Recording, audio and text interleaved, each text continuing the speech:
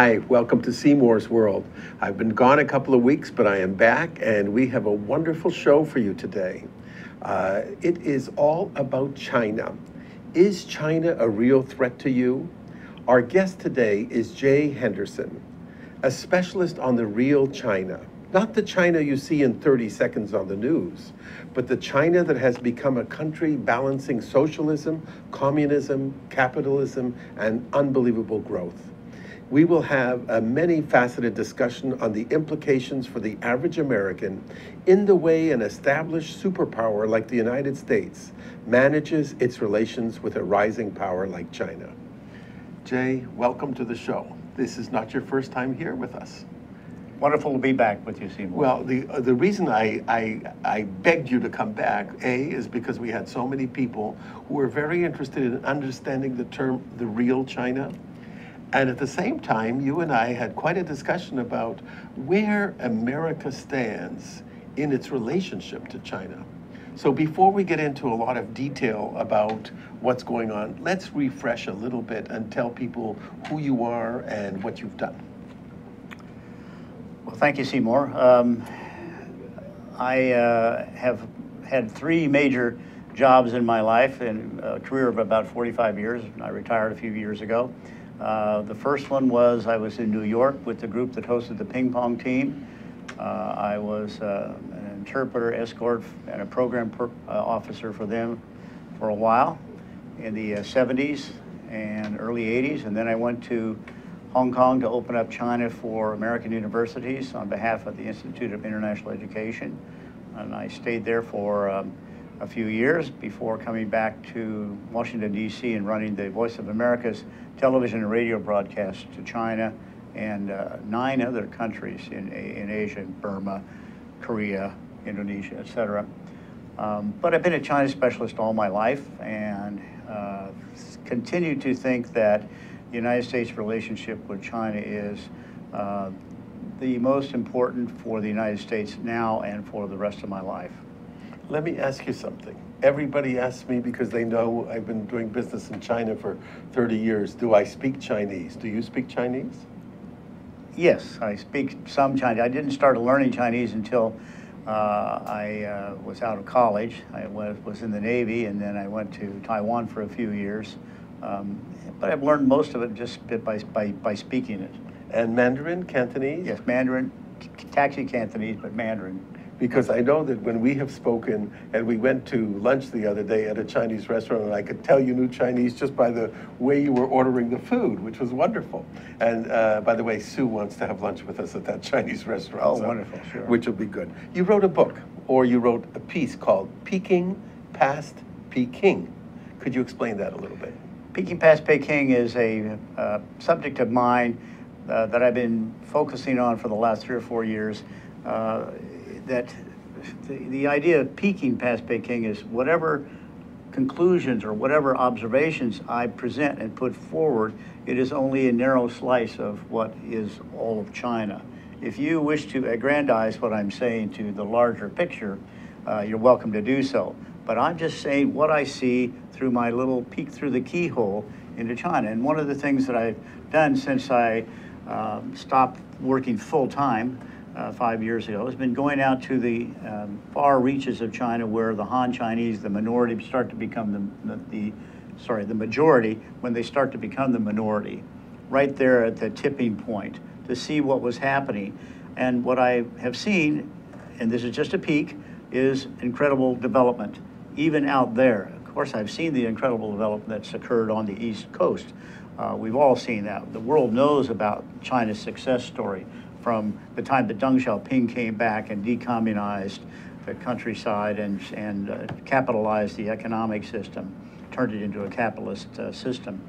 Uh, we've seen the tremendous progress, but the rumor was that out there in the hinterlands, those people were, were suffering, were not, not progressing at the rate of their brothers and sisters or their cousins on the East Coast. I went and saw it, and from what I could see, my peek was it's happening out there too. 30 years behind, 20 years behind, but they're catching up. They're on the same upward ladder. Is there a uh, an issue of these people that are in the hinterland, if we could use that term? Are they uh, trying to move to areas on the East Coast, the Shanghais, the Beijing's, the Hainans, because there's more money there for them to be made, or are they staying where they are? In domestic or internal migration in China has been a, a, facet of life in China for the last 30 years, uh, especially as people have set up factories uh, along the East Coast. Uh, young people have left the farm and have gone to these factories to get jobs and save money and go back home. But I, I think another part of answering your question is that um, meanwhile, life continues uh, out there in the hinterland. And I call it hinterland because Chinese call it BND, which is the uh, remote uh, areas. Um, life has gone on out there, and uh, you're starting to see broad avenues, uh, hospitals, uh, schools, etc. Um, modern systems of sanitation. life is, is, is on the upward swing out there. It's not exactly nearly as, as primitive, I will say, as it was uh, when I first started going out there in, in the late 1970s, when uh, roads were creek beds and uh, schools were just uh, uh, dirt floors, and um, it, life is totally different out there now, and it's going to get it's going to get different. I think I see the same thing when I travel because I travel in the economic zones basically where there's factories and I, I, I see people uh, coming in to work from the farms and from the hinterlands to try to find jobs in some of the industrial areas. But I see also when we go further out, the new roads, and I see a lot of cities that are being built. And uh, before we get into the relationships between U.S. and China, I want to talk about that a little bit, Jay. There are so many cities and areas that I see that are waiting for people to move in, if mm. that's the right terminology. Mm-hmm. Well, whenever you travel outside of the big cities, or even in the big cities, and, and here I'm meaning cities who are that of, of the tens of millions of people. Uh, I went to a city called Panjin not too long ago at the mouth of the estuary that leads into the Bohai Gulf, a city of only 2 million people. And I saw thousands of buildings, 40 stories high, and they were empty. These were apartment buildings. I saw hundreds of office buildings uh, along my, my trip, uh, not necessarily all in the city of Panjin. I saw hundreds of empty office buildings. Sort of like if you're gonna, if you build it, they will come. Now they may have overshot. It, it is a bit of a risk. It's a gamble that the that these places are not going to fill up. But I think the building on the Peeking Past Peking thing, where I went out to the hinterlands, wherever you go in China, you see growth. And the growth that we've seen over the last 30 years, which has been spectacular, phenomenal, unbelievable, nobody saw it. They are not on a plateau. This is what these empty buildings suggest to me. They're on a continued growth pattern, arc or growth uh, uh, pattern that is going to lead them up. We now have, because of what's happened over the last 30 years, uh, hundreds of millions of people have been, quote, lifted out of poverty, but we have about 300 million citizens of China who are empowered with disposable income, with uh, cell phones, televisions, automobiles, etc. And what I see in these empty buildings that, that are around China, I, if you look into the future and imagine that even half of them are full, you're going to have 700 million Chinese that are empowered, are going to have disposable income, that are going to have a tremendous impact on the course of world events. Uh, and uh, you know from and we're not getting into this until the second part of our of our talk, but we're going to talk a little bit about what impact that has on American businesses when you have 700 million potential consumers in a foreign country. That's, a, that's an amazing amount of, of customers that are waiting for whether it's jeans or toys or whatever it may be. It is huge, absolutely huge. I'd like to um, talk about uh, the panda huggers. And the reason I, I, I, love that term, you coined it. Uh, I didn't oh, coin oh, that. Well, you, you gave it to me, put it that it, way. Yeah. And I, I, I like it. it. Could you explain it for our Well, audience? panda huggers come from the, uh, the tree hugger that's the origin of the term. Uh, a tree hugger is, is someone who wants to protect the environment and who will go out and hug a tree so that you can't cut it down. A panda hugger is, regardless of what China does, uh, no matter how bad it is, uh, you're going to hug that panda. You're, you, you, you're, you're blind to reality. You're to, you're a panda hugger. You can't think of anything but how good China is. That's, that's sort of the origin of that term. And I've been accused of that from time to time, not uh, by too many people, but by a few, because I'm not full of uh, vituperative, I'm not full of uh, negativity about China. I see a growing, burgeoning, thriving China that's working on solving its problems and is going to be a huge, uh, lifelong, sorry, all of my life at least, a, a huge uh, partner for the United States and for the world, a huge force. And hopefully it'll be a force for the, for the good.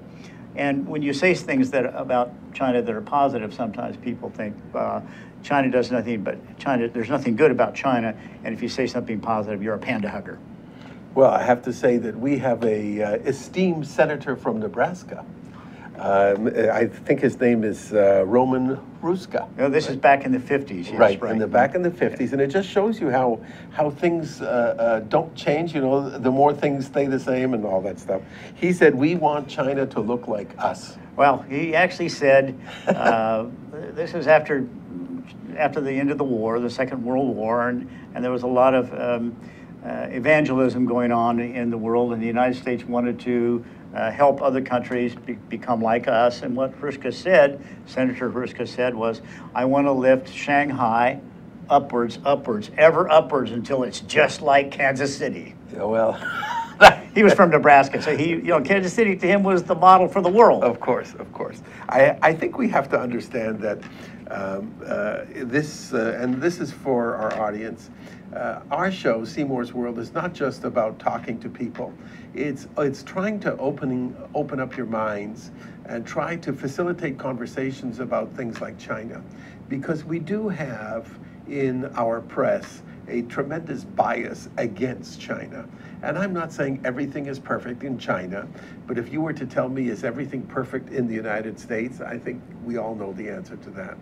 So we have to sometimes take a step back and talk to people like Jay, who is a true specialist in China, and understand that uh, what we read in the newspaper or what we see in a 30 second soundbite on television is not necessarily everything there is. And I think it's important for you as an audience and for all of us to take that step back and begin to understand that a country like China, with everything that's going on, can be a friend, not a foe. It depends how you want to portray yourself and how does the United States want to portray itself. So let's talk for a few minutes before we have to take a break. I want to talk about the Chinese investments in the United States. Hmm. That has been a very quiet piece in the last few years because uh, five years ago, everybody was discouraging Chinese companies from coming to, to the USA. Go ahead. Well, what you read in the newspapers is that China is uh, uh, plotting to take all of our jobs away from us. That uh, every time the United States and China work together in the business area, it's simply to, uh, it leads to American workers being laid off and jobs being exported and goods being sold back to us at, at a high price or even at a low price, but lots of goods, so that it adds up to a big trade deficit. This is what you hear. Um, actually, a lot of that, there's a grain of truth to it, but on, there is a lot of other evidence that shows uh, that people need to know in order to have a balanced point of view. For example, uh, there was about 87 million, billion, sorry, billion dollars uh, invested in the United States last year alone by Chinese investors. Did you say 87 billion? 87 billion, right. Um, I know of one investor who is putting a billion dollars into the state of Ohio, hiring thousands of American workers. He's shifting his manufacturing capabilities from uh, Fuzhou, China to Dayton, Ohio. It's in the newspapers back there, and he's the toast of the, of the state, the governor, and everybody uh, welcomes this uh, billionaire from China who's creating jobs and shifting his manufacturing to the United States. None of that gets noticed, none of that gets mentioned, but because of you, your show and, and having me on and other people, uh, we can maybe start to get the word around at least that there's another side to that, that picture. What about the geopolitics of it all? Uh, does the administration, the current administration, or anybody else out there see, wait a second, this could help United States industry so much by allowing Chinese investors to come in here and do business? There you have to watch what they do and not what they say. Um, what they say sometimes can be a little bit political, and it's easy to bash China. It is easy to to uh, to say China is is, is stealing our jobs. But if you look at how the policy is carried out, uh, I'm actually quite uh, sanguine about the future because of the way, of the way that a U.S.-China relationship has been managed in the past. Uh, it's been one of the best managed uh, relationships that the United States has had, and that is a gratis to the leadership of the United States and, and China, but certainly the leaders of the United States and the State Department. Remember Ronald Reagan? He was a good friend of Chiang Kai-shek, and he was going to get into, he was a big anti-communist. He was going to get into, into office and, and do something about that. And four months after he was in office, he was in Beijing on a state visit. Um, we've had a very well managed uh, relationship.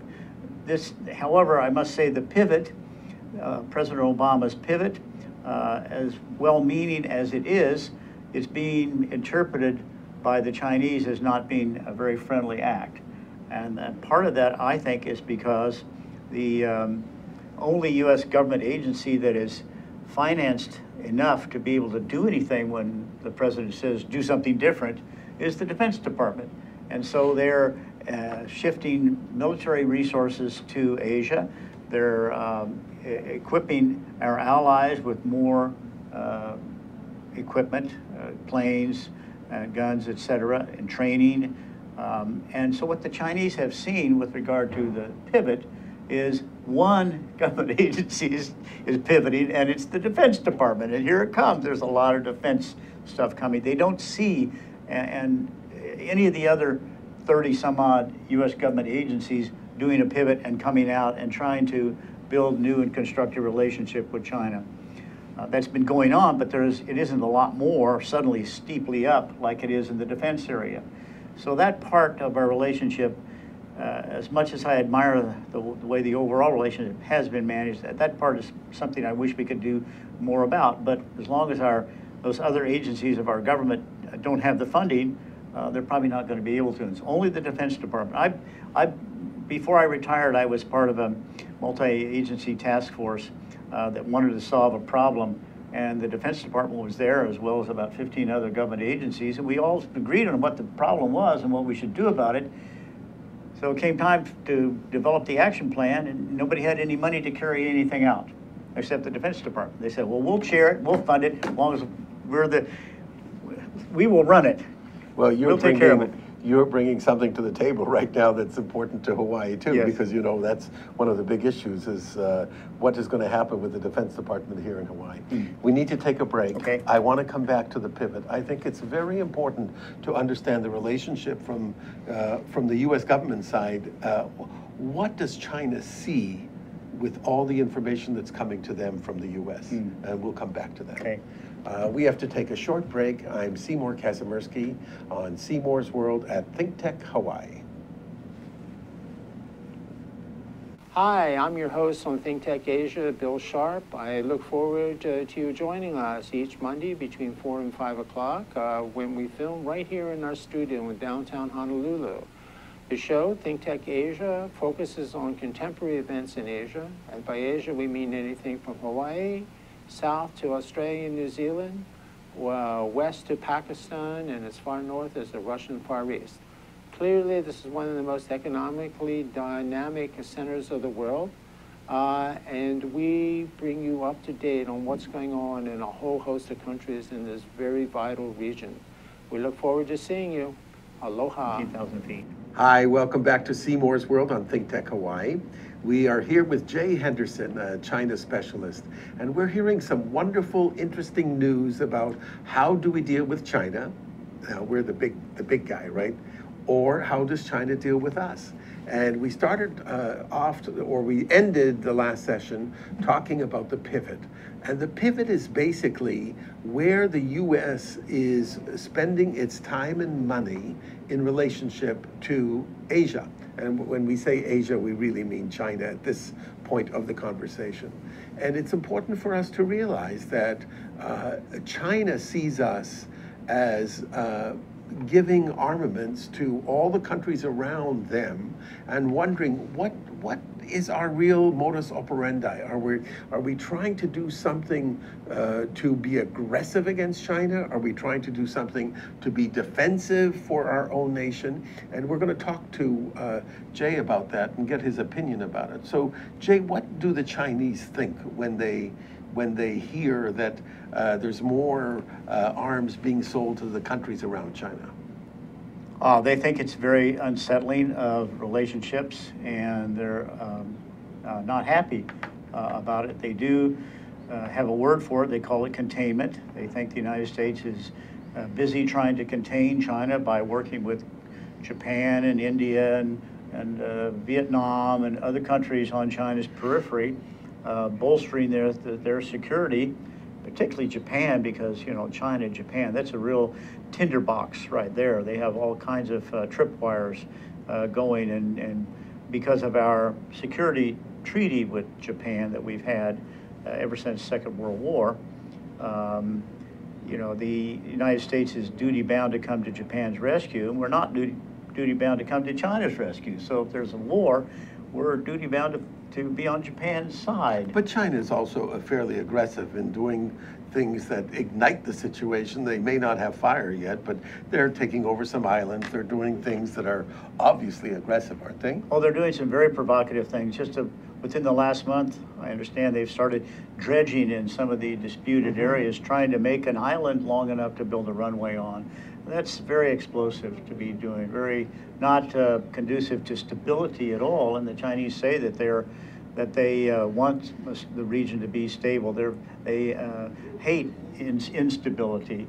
Uh, and you know, I think they're creating, I think they they created a lot of animosity of their own against the United States too, even though at the top level, uh, the relationship between Xi Jinping and President Obama, President Xi Jinping of China and President Obama, uh, was very constructive when the two of them, has been very constructive every time the two of them have met. Um, and as I say, the State Department and the uh, Ministry of Foreign Affairs are working very, very hard on oh, at least 50 different areas trying to maintain a stable relationship. So there's a lot of momentum going in that area. I just don't understand when the Chinese do something that is provocative. In one way, you know, I know the title is of your show today is, is China a big threat to the United States? Um, China's worst enemy is its own people in some ways. And the United States, sometimes you could even say our worst enemy is our own people, the way we're tearing each other apart.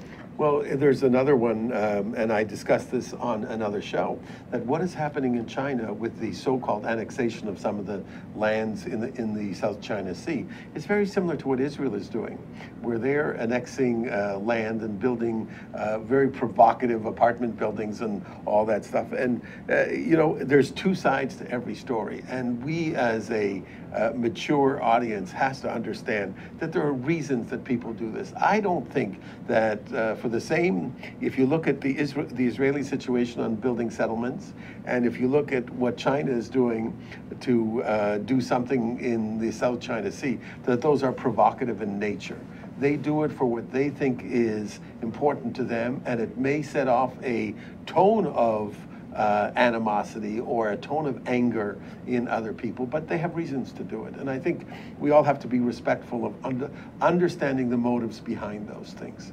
Now, before we go any further, you just came back from a trip, and I wanted to get some photos to our audience because they see Shanghai and they see Beijing and they see all these sorts of things. And you go really, I mean, I've heard you go on bus trips way deep into China over the years that you've had. So I'm going to ask Zuri to put, some, put some of those pictures up on the screen. And if you could identify them for us and tell them what they are. Well, this is a market in uh, the town of Lanzhou, and I just picked it be uh, because look how clean the market is. You know, usually you think of uh, street markets and street vendors as being sloppy, but this is, this is immaculate. This is the new China. Beautiful. Let's see the next one, Suri. This is a uh, horse town Oh, wow. uh, called Langmusi. It's high up in the uh, in the Himalayas, uh, the far eastern end of the Himalayas in Sichuan province. Um, and I just picked it because you see they're driving a herd of sheep and a couple of uh, horses and a And dog. it's right through the middle of the town. It's right through the middle of the town. I like it. Uh, But I went into a store on that very same street, and they were selling cashmere sweaters for 100 US dollars. Of course, this is before you start to bargain, but. That's amazing. You never could Yeah. find it it's like that before. Now, let's see the next slide, Suri. Oh, Uh, wow. This is a town high, high up in those same mountains uh, called um, uh, Kirat, I think is the name of it. Name slips my mind at the moment. At the moment, It- there's a large monastery up there. Quite That's a nice, beautiful. quite a nice place. That makes you want to go and visit. Yeah, That's beautiful. Yeah. Next, Suri. Uh, this is what I call a pop-up town. This is the town that has almost no inhabitants, believe it or not. They built this town, it's one of the things we were talking about earlier. Yeah. Uh, this is in Sichuan province, up in the mountains. And uh, unlike any town I'd ever been in, because it's virtually a ghost town, they built it in hopes that people will come. Amazing. This is, I love this picture. This It's is a beautiful palm tree. uh, this is a p- fake palm tree. A fake palm tree. Green plastic, uh, and it's in a village, village called Litang, which is at 14,000 feet. It's a totally Tibetan village. It's right on the Tibet border with Tibet in Sichuan. It's, it's 14,000 feet. It's higher actually than, than Lhasa. And Oh as their God. symbol, right downtown, they have a plastic, big- green plastic palm tree. I love it. This is called Xiangcheng. Uh, I love Xiangcheng because you can see the town there on the left, and on the right, up in the hill, you can see uh, Tibetan monastery. Right. How far is that from, from, um, uh, let's say, uh, Chengdu or some of the other areas? Uh, that's a 10-hour, 14-hour bus ride up to Litang, and then another six hours south from Litang to Xiangcheng. It's a All- huge all- country, isn't it? It's beautiful, too. There's nothing up there but pine trees and bubbling brooks, and it's just wonderful. I, I have made it, um, and I think I told you, Sue and I have to go back to China in May, and um, we want to go deeper into China rather than just do the Yangtze Oh, yeah. River cruise that we were talking about. So that's something we want to do. And when you see a town like that, it, just says to you, go and see it. It's just beautiful. Yeah. All right, let's get back to the political Okay. discussion because that's really what we're here for. Um, Michael Pillsbury wrote a book called Marathon. And the, uh, the title or subtitle was China's Secret Strategy to Replace America as the Global Superpower. Michael Pillsbury is a Defense, Defense Department China specialist, has been there for many years, very senior, very knowledgeable, has written a number of uh, uh, very impactful things about China. He's not a neocon that I, that I can see. Uh, he does, however, always have things to say about China which uh, make you worry about China. His book, The 100 Year Marathon, is about China from 1949 to 2049. And during that time, China is picking itself back up off of its feet, uh, back up onto its feet out of the rubble that it was in in 1949 when they took over. And it's got a 100 year long strategy, and he maintains that at the end of that strategy, uh, they want to have replaced or dislodged, displaced the United States as, as the world's number one leader in absolutely everything. What do you think? Um, uh, I certainly think Michael Pillsbury's point of view is valid, and we need to listen to it. In the chorus of uh, voices out there, his is a responsible one, well-informed. He wrote this book on the basis of um, a lot of highly classified information sources. It, he told me it took him a long time to get it uh, right. Uh, he self-censored in order to not reveal any classified information, then surrendered it to the to the um, people who control that stuff at places like CIA and Defense Intelligence Agency and got it cleared by them.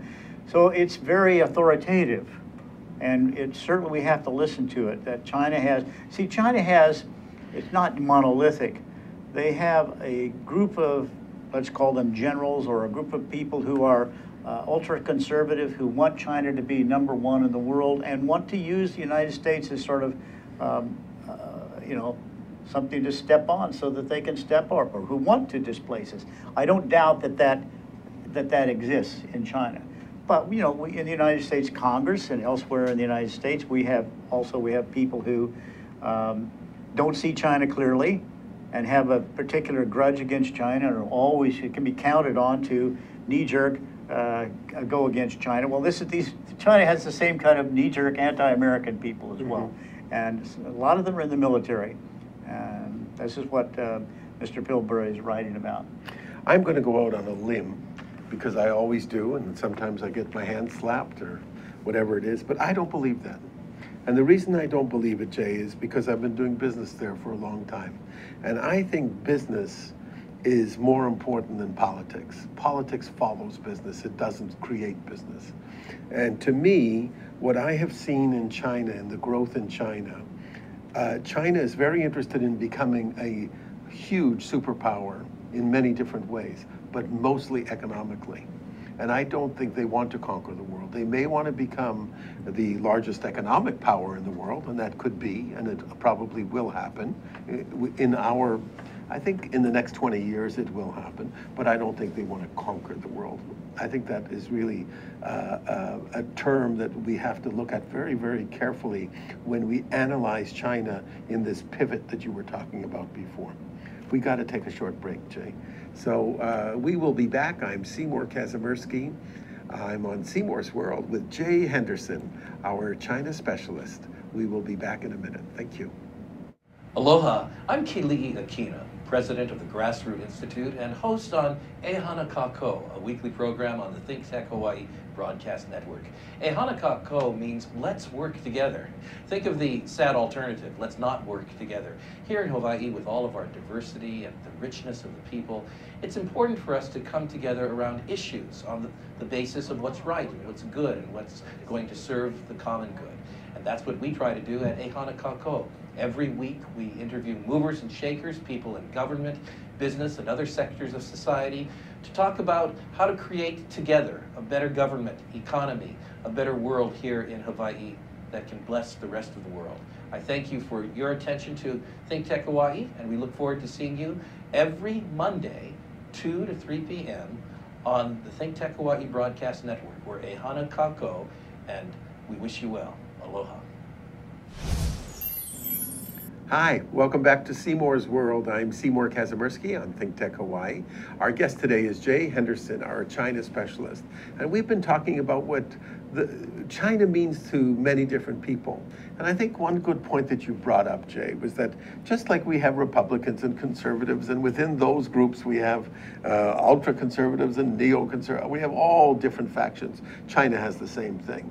Uh, I think we need to come to grips with is China, well, the topic today, is China a real threat to the US? And uh, I don't think so. I think if we treated China more as a partner than an adversary, I think we would get much further ahead with China. I find in business, and I, I, I, have so many compatriots who do business in China with me over the last 30, 40 years, we all realize that they're wonderful people to do business with extremely reactive to the needs that you have if you're making a product, very willing to spend huge amounts of money in R&D to, to try to make a better product for a lower price. Uh, this is where uh, I, I believe the growth in China is going to be. And that's the relationship the United States should be looking at rather than this pivot of uh, sending armaments to all the countries around China, trying to say, watch out, we're going to take over for you. I'm going to end that part of the conversation unless you want to add oh, yeah. something to it. No, I really need to add one thing Go there about it. the pivot, because the pivot wasn't intended to be that way.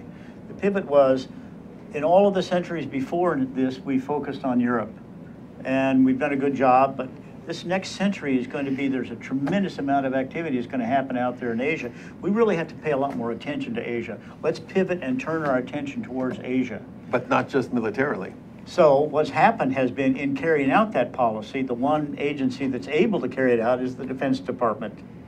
Maybe the Commerce Department, but that doesn't get heralded. I mean, even the the Commerce Department, take the, the TPP, the Trans-Pacific Partnership, uh, multinational uh, trade uh, agreement that the United States is, is, is um, trying to bring about because of the pivot. Well, China's excluded from the TPP. So China has gone ahead and has started their own um, alternative to the TPP. They've started their own alternative to the World Bank. They've started the, the Asian Development Bank. All of these things because in our pivot, we just haven't included China. And so China's feeling left out and contained, and this is the way they're reacting. All right, well, it's, uh, I happen to agree with you, and that's only because I'm coming from the economic point of view, not from the policy point of view.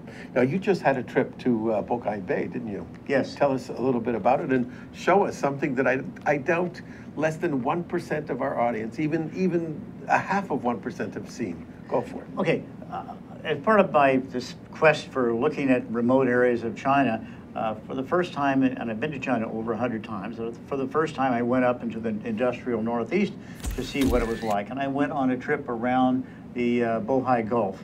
Uh, I went to Panjin, was the first town, it was uh, a town of 2 million. And it went over to Dandong, and I'll come back to Dandong in a minute. Then it went down to Dalian, and then it went across the Bohai Gulf on an overnight boat to Tianjin and back up to Beijing on the bullet train. It was only 30 minutes from Tianjin to Beijing. I wanted to talk about Dandong because Dandong is a Chinese city on the border with North Korea. Right? And so I spent a couple of days on the Yalu River drinking Yalu River beer. How was it? Oh, it was wonderful. Very, as long as it was cold, it was good. Had a lot of North Korean food, everything but dog, and uh, that's where I sort of drew the line. Then I went up the Yalu River uh, with a friend to a place called Ibu Kwa, which is a place that means one step across. And there you could actually see uh, a North Korean island about as far away from me to, if our audience can't see, but there's a wall about 15 feet from us. It's very close by. And that was North Korea? That was North Korea. There was a, a fence and some Chinese guards there keeping me from doing the foolish thing and stepping out. Then they offered me a, a, a chance to buy, a, a lady, a little old lady came up to me and for eight US dollars, she offered me to, a whole uh, clump of North Korean money. So I got this North Korean money. I hope that I you can see it. Yes, they can. Uh, I'll try to get it so that it doesn't, the She's lights don't shine on it on too much. too. Okay? And that's, Uh, on each bill is a picture of? oh, Kim Il Sung or Kim Jong Il or Kim Wow. uh, Kim Jong Un. Yeah. And their wives. This is discontinued money, but it was fun. And then I went out on for a cruise on the Yalu River, and I actually got uh, North Korean territory in between me and China. These, these, these islands that were in the middle of the river, the Chinese guards told us it was okay, and we went out there with about 50 Chinese tourists. It was fun. I was a little bit worried. I got some good pictures. I put it in a blog called Rick and Jay's Fantastic Adventure at blogspot.com. Um, and uh, some of the pictures that I took of, the, of, the, of North Korea when I got to the other side of the islands and again got close to North Korean territory were like Norman Bates. You could see it was like Psycho. You, you really worried about uh, them coming out and getting you. This picture here is a North Korean vendor came out to our little ship and, I know, and I sold see that. pickled eggs and stuff to us for a while. So the Um, North Korean ship could come to you, you were still in the China side of the river. No, we were in the Yalu River, which is But on. that's a border. It is, but the concertina was on the, was on the Chinese land. On the, on the North Korean, there wasn't any fence or anything. Yes. And they, so they, so the river was neutral, but in the middle of the river were these islands, and they were North Korean. So you are the first person I have met then who has actually been in North Korea. And- You didn't and- get your passport stamped up. And I didn't jump off and say, I Yes. reviewed up my passport because I wanted to defect. Yeah. Like one American did. No, I'm not gonna do that. I was, I was worried. I wanted to, to have a low profile while I was out there, and I was glad to get back, uh, to terra firma in, inside China. I bet. It was lots of fun. You know, that's interesting that um, North Korea, uh, that close to China, there's, there, you don't see a lot of soldiers on both sides, do you? No, I didn't see any soldiers, but we did have one man who, we, when we waved at him, he went like this with a gun. Oh, no kidding, that He was a his the gun? Kalashnikov in his hand. No kidding. Yeah. Wow. And we saw dozens of North Koreans farming and fishing. They, they have these little boxes with a glass bottom, and they put the box inside the water, but they don't want the water to come over the top. So that it's like goggles, and they're able to look down into the water and see fish and stab them No like that. really? Dozens of them doing that. This is a picture of the bridge across the Yalu. That uh, sign there actually says that China's on this side and North You Korea's can on see the the other North Korean side. flag, And yeah. I, and I translated as, don't even think about it. Very, very cool. Now, when, uh, uh, when you do that, Jay, uh, do you get a guide that goes with you? No, Or do you do it on your own? I just Because my of own. your, because you speak Yeah. Chinese. Yeah. I find that the deeper I go into China, you better have a guide with you because they really do not have a very command, very good command of English. You know, and, and naturally, I don't have a very good command of Chinese, so we don't get very far. Uh, it's even happened to be closer in uh, to some areas in Beijing and Shanghai. When you get outside, just uh, you know, hundred kilometers outside, you find yourself, whoops, uh, what do I say now? Well, I a lot of with- pointing, you know. I travel with no pre or pre-designed plan, with no guides.